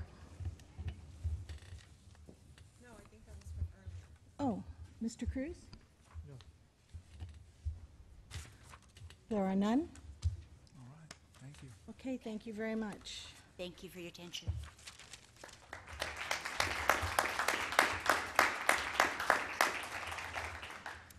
We are now at the evening's discussion item. Please announce the item. Item 4A1, Board Bylaw 9100, Bylaws of the Board Organization. Recommend the Board of Education discuss Board Bylaw 9100, Bylaws of the Board Organization. Thank you. Board members, we need a motion and a second to put the item on the floor for discussion. So moved. Second. Um, I also, rem- I will remind you, there'll be no action taken on this item tonight. However, if a board member would like to propose changes, then please indicate that you would like to have the policy brought forward with revisions and provide the language to the superintendent for staff to prepare the item. Originally, this item was my item. Um, I have been um, surprised at some of the, the requirements of the board president. And so as I am preparing to leave, I wanted the board to consider um, the rotation of the presidency. And I understand that for lots of reasons, it was adopted eight years ago, Mrs. Orozco? Uh, no, actually, 10 years ago. 10 years ago. But I, there are several things I would like us to consider. And so, first of all, um, returning the presidency to an open voting system could still allow the board, if they wanted, to rotate the presidency, because of course you'd have that right to do that. Um, So it would be up to the current board members if they wanted to do that. For me, it seems important that the board president wants to be the president and not just rotated by slot. The president should be able to attend the weekly meetings with the superintendent, as well as the California School Boards Conference and training, so that they can be the best possible representative for our district. Um, Secondly, an informed and educated board president is less dependent on staff members and more able to lead the meeting independently. It's important for the board to be able to function in its oversight responsibilities to take um, the leadership role as board members and as community representatives. Third, the board president has many events where he or she is representing the board. And it seems important to me, and, and partly because I'm on a board minority, often, that the board president represents the majority of the board members in order to be a credible representative. I just think the presidency is too important to be worried about um, feelings. I I don't think we should be worrying about hurting somebody's feelings because they were not promoted to president? Or should we try to make everyone feel included? Um, I don't think the board is a social gathering. It's a meeting of elected officials who have oversight responsibilities for our district. And I think the presidency needs to be granted to the person the whole board thinks is the most capable, not just the next person in line. Are there any other discussions?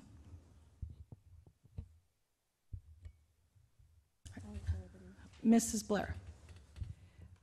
I agree with you. Um, my experience as a president, you know, during the rotation, I was excited about it at first, but then I was met with such resistance by the majority that almost everything that I did as board president was questioned, uh, criticized, critiqued. And so as I finish my second term with two years left, I would have no interest in being uh, board president. So I agree that it is a position that someone should hold um, and hold it with high regard. But when you have a negative experience, you don't want to put yourself in that position again. And so I wouldn't want to be part of the rotation. And because of that, I support this. And I think it should also be someone who is truly committed to all of the students of Chino Valley Unified, not just to a certain segment, because you have to go out and visit the schools and um, engage with all parents and all community members and not just be so restrictive that you have tunnel vision. So I agree with you that it shouldn't just be an automatic thing. It should be something that the board decides collectively. Thank you, Mr. Na. I believe um, all of us, as someone said, represent whole community, and we have been elected to serve our constituents.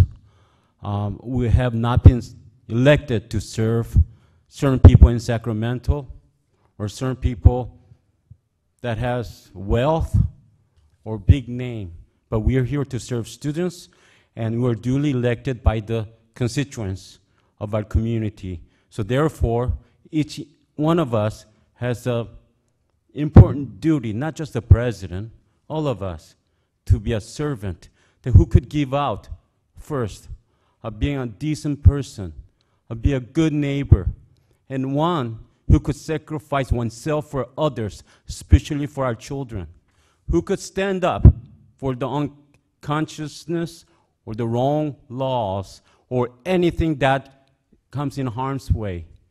I could not say I would agree with recreational marijuana law that just had passed because it hurts our kids, it hurts our children. If we just follow, just follow and follow, and in the end, you're worth nothing but just an air. So I believe that each one of us has a value that we represent, and we should duly serve that. Thank you. Any other discussion? Mrs. Orozco? Okay, and bear with me. So let me give some background on this uh, policy because it occurred because I advocated for it. Um, prior to my being elected to the board, it was just a matter of the board voting for their officers. Um, and prior to my getting elected to the board, there were a lot of political moves, if you will, that were made to prevent a member from becoming president. And it happened more than once. It happened on the night that I was sworn in. So here I am, a new board member, eh, completely expecting that another member would become or be nominated clerk. But because there was a division on the board, I was nominated as clerk, and a second member was nominated as clerk. So you have two-two, and who's the deciding vote? The new board member who um, shouldn't be placed in this position. So was it politics that night? Perhaps, I don't know. Um, I felt that no board member should be placed in that position, not on the first night that they're sworn in to play politics. So I advocated for a policy that automatically um, rotates positions, including when new, two new board members are voted in, they're voted in by the number of votes that they get. I felt that this policy um, kept the vision on our students rather than all politics being played by the board. I felt that um, we needed something in place that wasn't about the board members, but it was just a process that was transparent. No politics in play. By having this rotation, it, it assures that any member on the board will serve as president whether you're in the majority or minority, whether it's perceived or real, you have the opportunity to assume the role of president. Now, um, let me address a couple of, of comments. Um, wait, let me get back to, to policies. So we have another policy, Board Policy 9322, and it re- it's in regards to placing items on the agenda.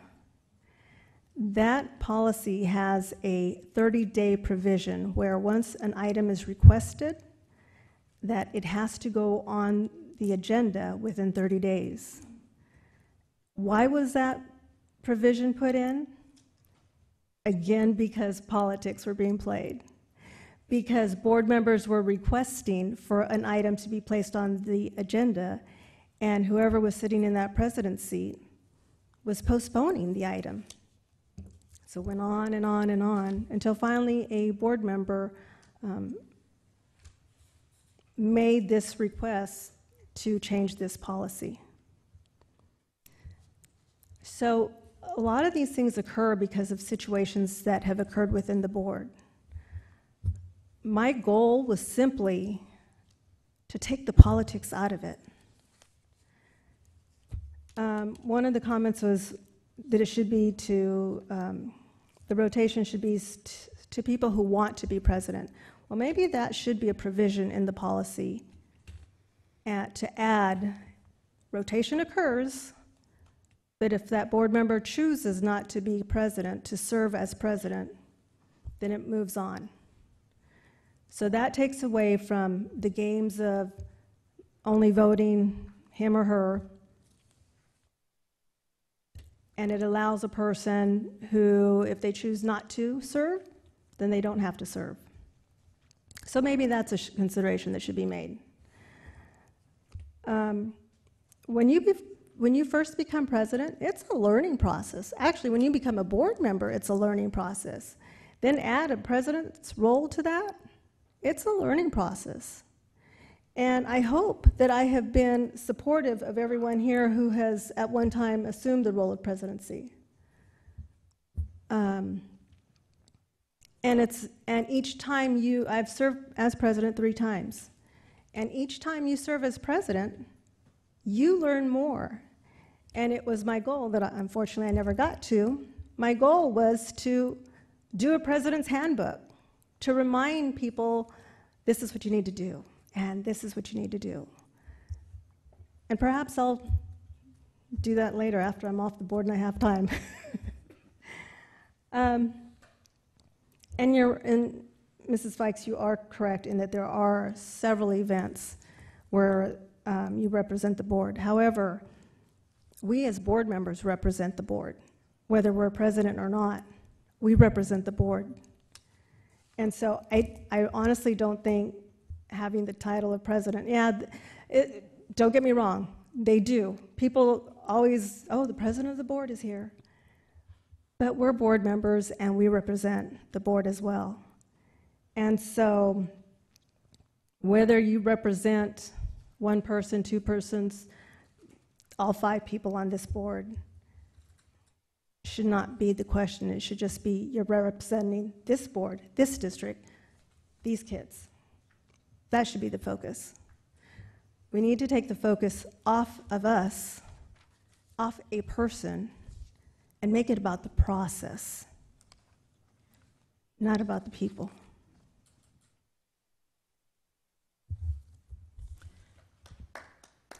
Thank you. Any other discussion? All right, we are now at board member and superintendent comments. Mrs. Orozco. Oh, boy. Let me look for my comments.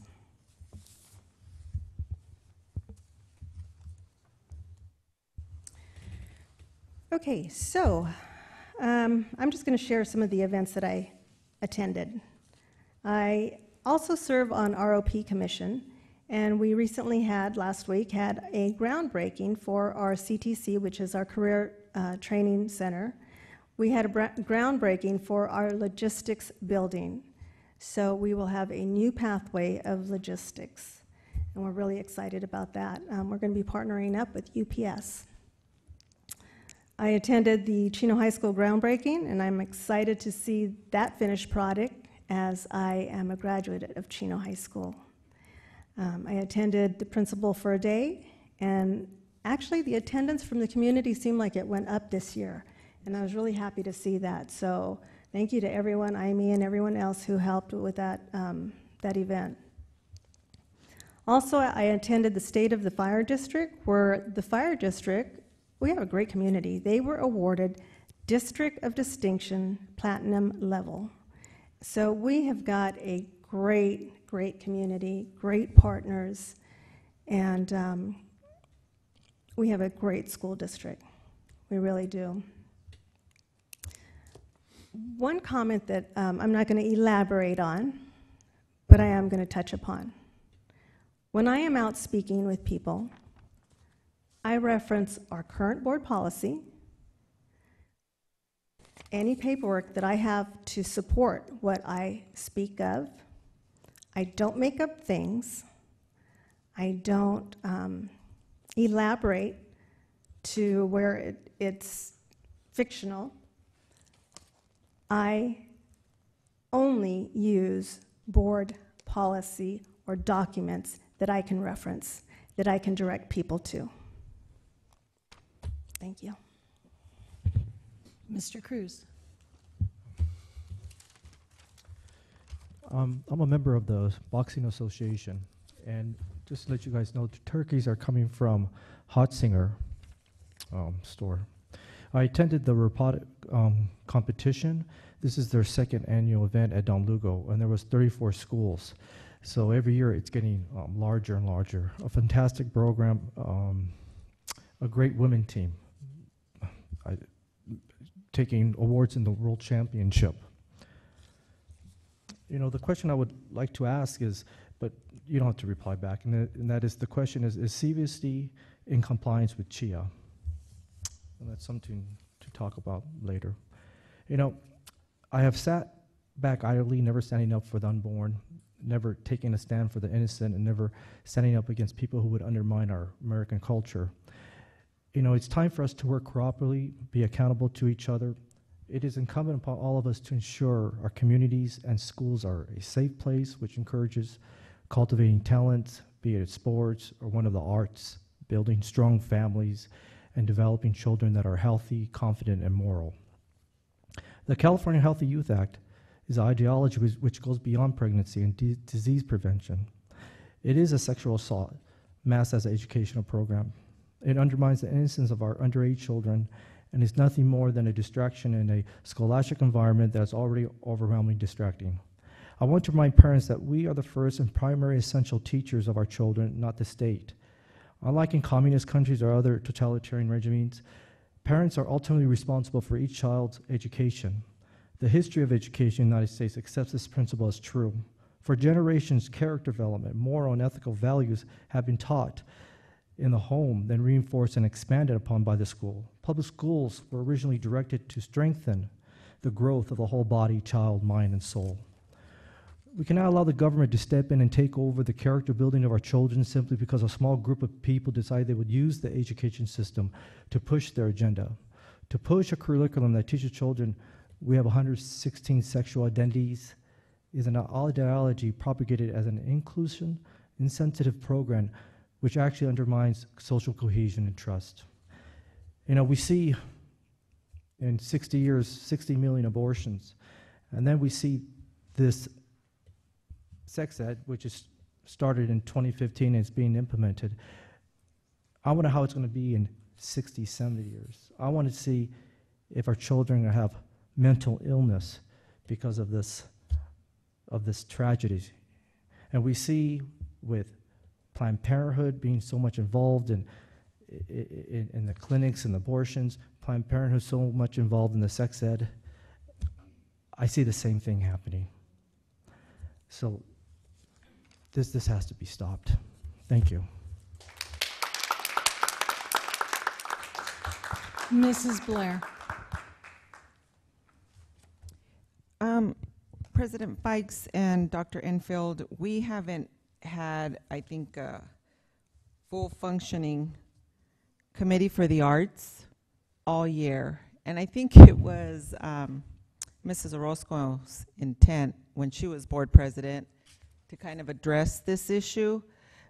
But there is a lot of money out there for the arts, and we just need the committee to be reestablished and brought back because great things were accomplished when the committee was together, and it, it just kind of fell apart, but we need to put it out there again. We need the volunteers. We need the committee back. And um, I don't know if we need official resignations from everyone who was part of the committee. They just kind of, what's the new youth term? Ghosted.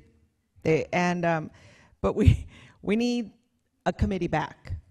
And so I don't know if we have to advertise it again, um, uh, put it on an agenda, and seek volunteers. But I I just can't let go of of this project that did accomplish some great things in our district, and there is still a lot of money out there that we can seek through grants. And so I don't know what we're supposed to do to get it back, but if the two of you can discuss that, if it needs to be brought back on an agenda item, so that we can begin requesting volunteers. Not a problem. Thank you. And then I, I want to um, just share my thoughts about uh, the great work you're doing, Dr. Enfield. And I know that um, you may have thought that I had resistance to your uh, being at the helm of the school district, but I wasn't. What I wanted was because there were claims in the past um, when the application process for superintendent took place was that the prior leadership had instilled intimidation on many not to apply because you were the one that was going to get that position. And I didn't think that it was fair to you to um, be selected with that cloud over your head. And that is why I had asked that we consider uh, extending the application deadline. But it was never anything about you personally. It was the prior leadership that had apparently instilled intimidation. But I say that because you have a lot of cleanup to do in this district because of what transpired under the prior administration. Retaliation, harassment of various types. Cleanup at high schools and many of our schools that needs to occur. Shakeups need to occur at a lot of our schools. There was a lot that was ignored. There was a lot of retaliation that has taken place for years. And sadly, that retaliation started at the top. And I know it wasn't your um, expectation to inherit all of that. And I'm sorry that you are inheriting it. And I hope that we could shift this board so that we can begin to truly, truly respect all of our teachers, all of our staff, because the retaliation that takes place at every level, where we even have custodians that have to move from one site to another because they voice their concerns and then are retaliated against, and so they have to leave. We have safety officers who are out there advocating on behalf of our children and saying, this campus isn't safe, and instead of being their input being well received, they're punished by not receiving overtime or being moved to another campus that they don't want to be at. But there are a lot of things in this district that, that take place. And though there are great things that are happening in our district, there is still a lot of work to be done. And we need to start by respecting all of our staff and the retaliation and the harassment and um, the protection of some at the cost of others needs to stop. And I know that you're beginning that process, and I know that you see it and that you have seen it. And I, I just want to thank you for being brave and, and courageous to begin addressing that. And so I want to thank you. And um, I want to say that I'm excited about the next two years come November 7th. Thank you.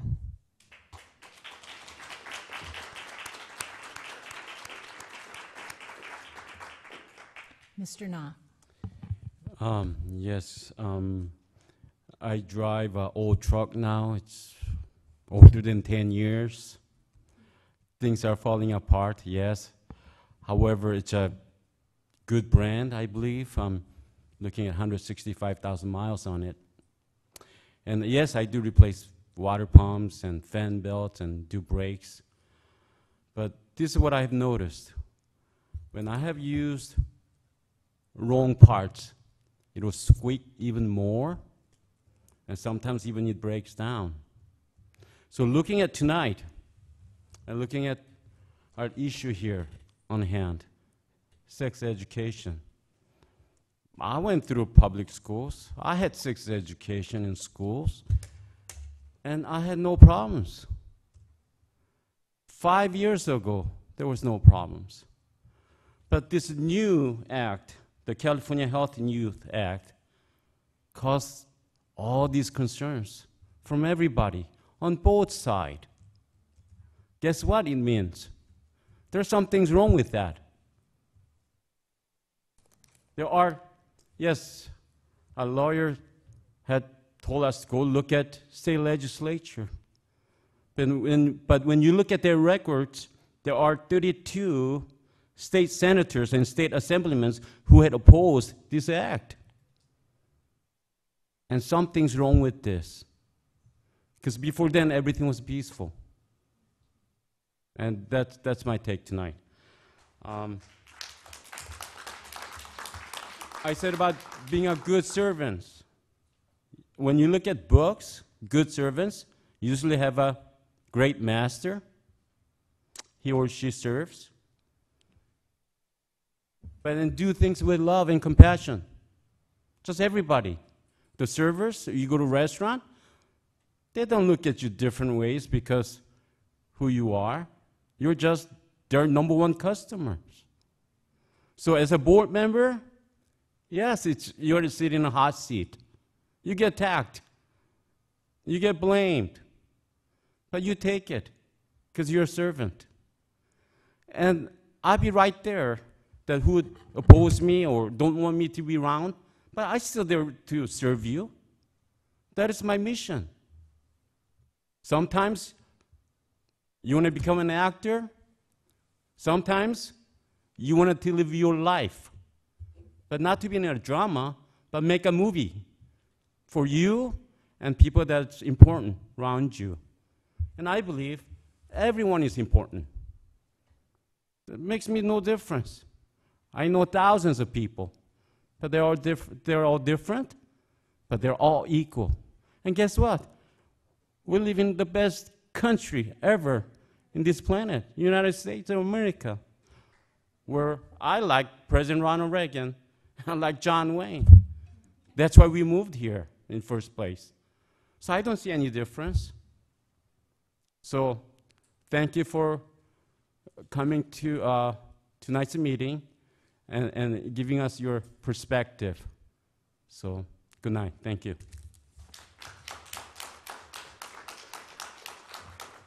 Dr. Enfield. I tell people we have the greatest kids in our school district, and, and I want to share with you this. Um, today I was in a, at a school site visiting schools and, and walking classrooms, and I was in a second grade classroom, and the uh, teacher had called on a student, and the student, um, you could tell, had a speech problem, and he worked himself and kept, you know, sharing the information, and you sat there and you listened to him, and, and it was just beautiful to see him to go, and the kids are all listening to him, and the teacher had so much patience for this child. And then when he finished, which took a little bit of time, all the kids said his name, like, Great job, Andrew, good job. And you're just sitting there and you go, That's the stuff that makes it such a wonderful district. And I tell people, this doesn't happen in any other districts. And so I just wanted to share that story of uh, the kindness that our kids demonstrate with one another. Thank you.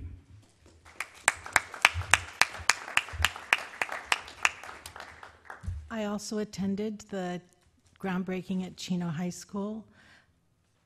I don't, I don't think I was as articulate when I um, chaired it and I opened that event. I wanted to say in the 60s, we made a lot of crazy decisions about schools. You know, um, there was some laughing about the word uh, cafetorium, but in the 60s, they thought they could take a cafeteria and blend it with an auditorium, and that would be sufficient. There was a huge movement to have classrooms without walls. And um, so teachers who lived through that, or educators who lived through that, as I did, um, kind of laugh at construction in the 60s. I think the Chino High School is our most beautiful school physically. And so it's hard for me to say, great, we're going to build this state of the art school because I love how that school looks. It's so traditional. However, there are lots of things that need to be changed at that school and at a lot of our schools as they age. So I am excited to um, see the changes at Chino High School, and I'm happy I was able to correct the record. Um, I also was at Principal for a Day, and again, it's very exciting to see the level of community participation in that event, and it gives you an opportunity to look at our schools from a little bit different perspective. And lastly, probably uh, most teachers' least favorite day is Halloween. the kids are very excited, very, very excited. And um, it, it, takes a tremendous amount of time and effort and patience to put together the programs that we had at our schools yesterday, um, as well as to, as well as to co- cope with all the sugar that's ingested by those children. So I thank all of our teachers and principals and parents that made that such a memorable day. I know for my four and a half year old grandson, he could not stop talking about the chicken costume he saw and uh, came home with such a high level of enthusiasm. And of course, that's what we want for our kids is that they're enthusiastic about school and want to go back the next day to see what's happening. So I thank all the employees as well as our community members. And with that, I adjourn the meeting at 9, 9:13.